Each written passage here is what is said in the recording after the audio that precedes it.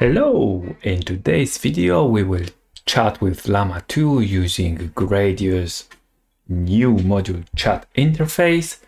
And in one of my previous videos I showed you how to prompt and chat with uh, Llama 2 but the previous video wasn't like the perfect example of that because we didn't really create a chatbot. We only got responses from Llama 2 but today we will really create a fully functional chat that will let you ask Llama 2 and get responses. And we will run all the code in Colab notebook. So you can just copy this notebook and uh, run it by yourself. And it's all on the free tier. So uh, you don't have to pay anything for that uh, in Colab. And you will see like the fully, fully functional chat. So let's just dive in. Let's move to the project then. Uh, so this is the first pre-step that may be required because uh, I had troubles upgrading Gradio and running this cell and then restarting the runtime has solved that problem. So if you've got troubles running this cell, just get back to this one, uh, uncomment, run it, and restart runtime. Uh, sorry. So let's start with the basic installations. They are for uh, the Hugging Face transformers, torch and accelerate. Okay, we've got it. And now let's try to install the newest version of Gradio. Like I said, we will use this chat interface uh, which is very, very convenient for chatting with large language models. Gradio 3.42 is installed.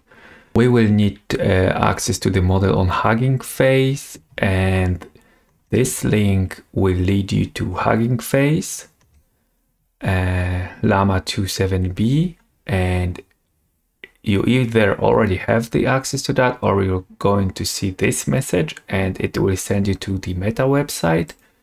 And on the meta website you will see this short form. You just fill it with uh, basic information. If you don't know what to put in uh, organization just write personal and then just you will definitely need this one optional this one. And it may take a couple of minutes uh, for getting the access yeah, but this is necessary to, uh, to to get our uh, to to use uh, Llama 2. Uh, so the next step will be Hugging Face login. That's also the requirement, and it gives you this link. You just click on it, and then copy. Go to this token, paste it. Then you choose no and I'm successfully logged in and just as just to ensure I always call this who am I and this is my username. Okay, the next step is uh, loading uh, the model and tokenizer. Uh, so in this step, we just define the model which we're going to use. And as I showed you before, this is, we're going to use this uh, Llama 27B chat Hugging Face. Uh, so I'm running this one. And then we will, we just need to tokenize, we, uh, but luckily uh, Hugging Face has this auto tokenizer. Um, module so we can just use it for any model. And the next big step is just creating the Llama pipeline. So like the pipeline for any model, but because we we're using pipeline, this is where, uh, because we're using Llama, this is where we define the model again. And uh, pipelines have so many different tasks and for our project, we will use this text generation. And let me just run this cell because that's what it really takes a lot of time. And I'll get back to you once it's all loaded. Okay, awesome. The model is now loaded. As you can see, over three minutes to run this cell. And I'll move to the next step, which will be at this point, I will kind of repeat what I've already shown you in one of the previous videos, how to get basic responses from Llama 2. And this is uh, pretty much the same function I've used in this other video. Let me just initialize the function. And in this function, we are using sequences with Llama pipeline, which we've just defined here. And it will uh, generate responses. So let me just uh, call it with hi, this is my name. Okay, so this is this answer is very very uh, funny, but it shows also the other point that I want really want to mention in this video, but it uh, deserves a separate video on how to actually prompt Llama. But okay, so I just introduced myself and it's given me like advice on how to get your X back. so uh, not really what I expected. And I'm asking what's my name and let's see. My name is Jack. Okay, that's really interesting to be honest. Uh, so like in the previous video, I just, my goal was to show you how to produce answers from Llama 2, but it wasn't really, really conversational. And right now you can, you can really see that. So it doesn't know, it, it came up with, with my name, with like it, it's made up my name, which isn't my name. So this is a very, very bad example of on how to use Llama 2. And so here are some drawbacks of, of this solution is like there's no history and you can't really customize it and it's definitely not ready to use it as a chatbot. And yeah, as you can see, it just keeps generating, keeps generating like text without even me wanting it. So the idea for this video was to show you first how to improve prompts. And this is like the right structure of Llama 2 prompts. And I will send you the link in the description uh, to the Hugging Face blog post where I got it from. But in general, uh, like your like user message is between the tokens of INST and INST.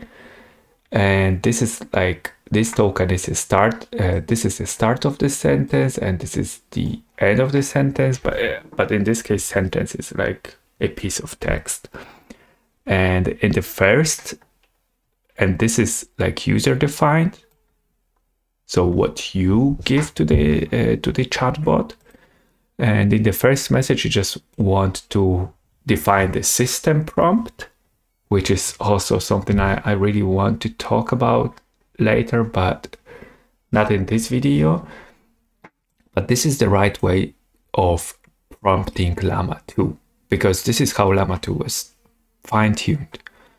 And this is really important in order to get the right responses or like the more precise and correct responses, not like this garbage that I got here. And excuse me, I need to edit something. Okay. And for this project, we will also use Gradio and Gradio has this chat interface with the message and the history. And the message is your like last message and the history is the history of like user input, uh, ch uh, chatbot response, user input, chatbot response. So it's a list of tuples, uh, like I just uh, wrote it here. So like your first message and then the bot answer, and then your second message and then the bot answer. So of course, at the beginning of the conversation, the history is empty. Uh, so when the history is empty, we just want to use our system prompt, which in our case is basic, you are helpful, both your answers are clear and concise, uh, which is and I'm using this structure like S and INST like from here like if you can see like this first line corresponds to this line and then I use my system prompt and close the system prompt with this token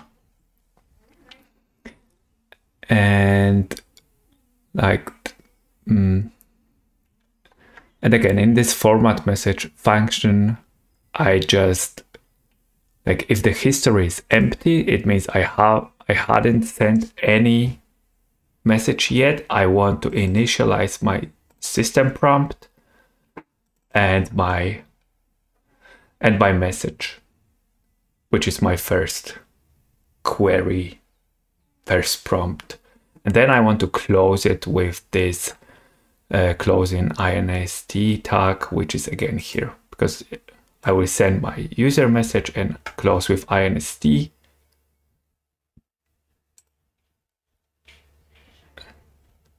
and this is wrong. This is not supposed to be here. I'm sorry. Uh, this is only after i'm closing the sentence only after the response from from chat mm. yeah and then i'm building like the formatted message because when we will when we later prompt the llama we will always send the whole history because when we are used to when using ChatGPT, this is normal for us that ChatGPT remembers the history of our conversation un until we don't really exceed the context length. But in such models, like in open uh, source models, when our context length grows, uh, when our conversation gets longer, we actually save the whole conversation in the history.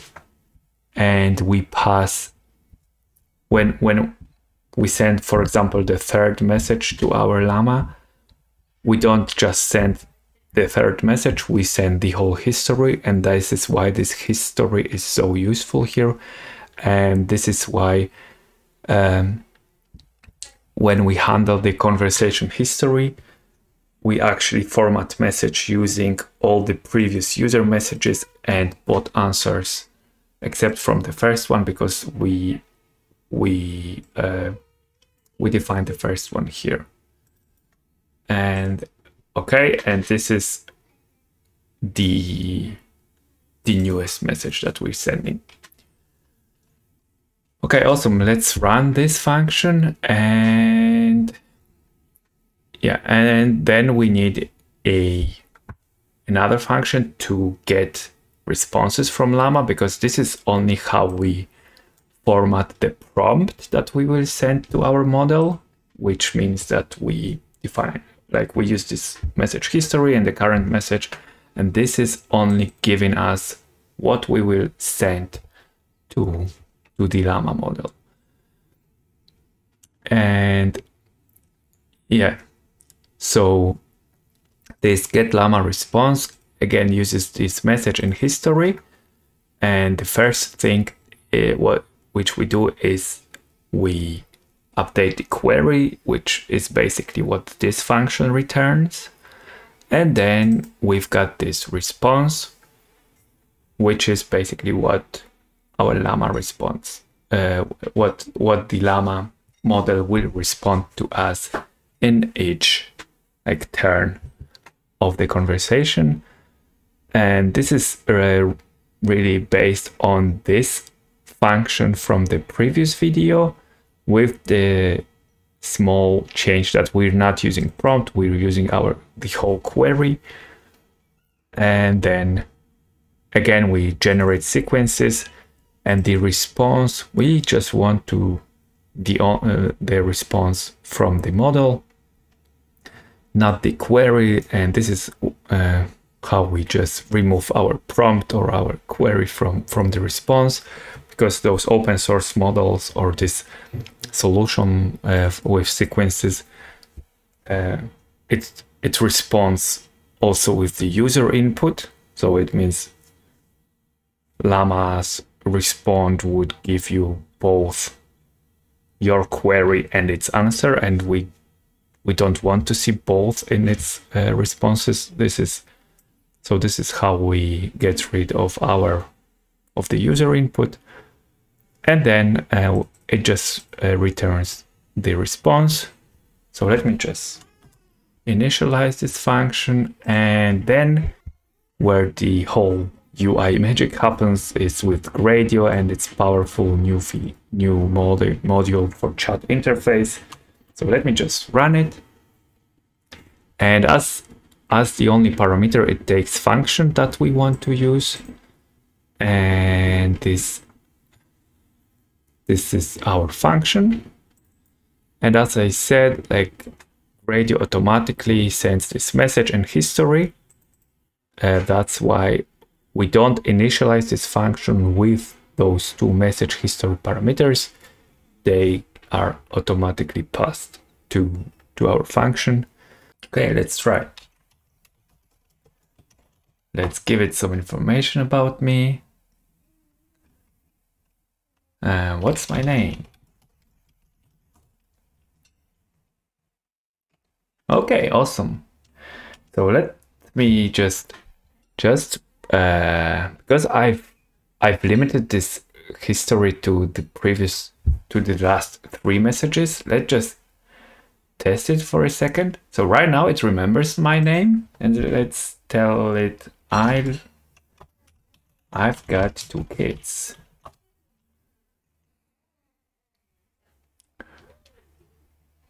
They're doing great. Thank you for asking. I love basketball. And okay. I'm from Poland. And I live in Germany. Look how silly it is. Have you been have you ever been to Poland? Yes, I'm from Poland. Um so I've given it like five informations so let me just ask it, how many kids do I have? How many kids do I have?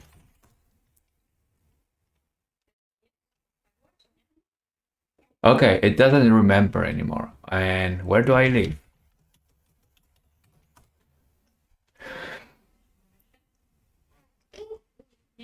Uh, it's forgotten. That's interesting. Again, we're playing with the worst llama model, which means that it may give us so really, really poor answers. I just want to show you the limitations of this of these models and they are still quite huge to be honest. But the open source space of large language models is very new, so don't get discouraged with that. Uh, just because like the implementation that you learned here is something that you can then reuse for for newer and better models because the implementation you learned here is something applicable for other models. So when the newer and more powerful models come, you can just reuse it and you'll basically get uh, better answers and better user experience. Okay, that's it for today. I just showed you how to use this amazing, amazing module from Gradio for chat interface and we used it to chat with Llama 2. I hope you liked it. I hope you learned something new. And yeah, uh, feel free to like and subscribe this video and even hit the bell on my profile so that you get notified when new videos come. And thank you for today.